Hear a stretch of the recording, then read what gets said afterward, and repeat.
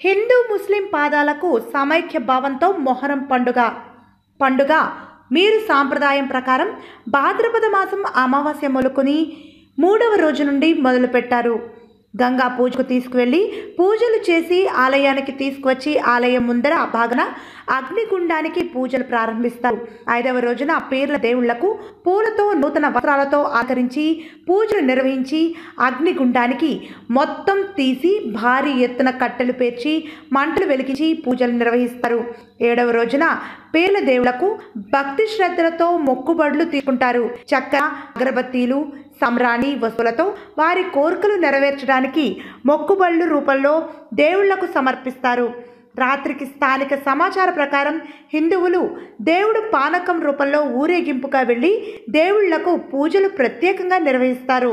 ఆ రాత్రికి యువకులంతా కలిసి రంగుల వస్త్రాలతో అలంకరించుకుని చేతిలో జూలు పట్టుకుని అగ్నిగుండం చుట్టూ చెట్లను కొట్టుకుంటూ ఎంతో ఉత్సాహంగా దీన్ని చూడటానికి గ్రామంలో మహిళలు పురుషులు ఎంతో మంది భక్తులతో రాత్రంతా మేలుకొని తిలకిస్తారు.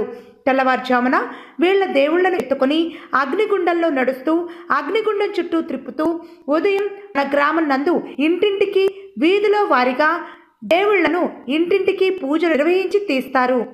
మధ్యాహ్నం మొదలుకొని సాయంత్రం వరకు అగ్నిగుండం చుట్టూ యువకులు పురుషులు సంబాలు జరుపుకుంటూ సాయంత్రం దేవుళ్ళను అగ్నిగుండంలోకి నడుచువారు కోరికలు తీరుస్తూ ఊరేగింపు చేస్తారు.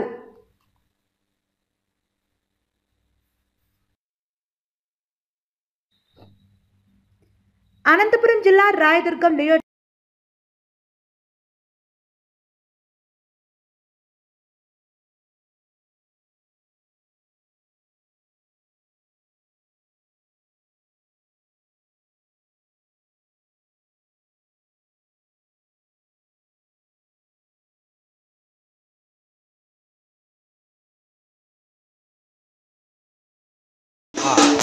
जो बैल आता आता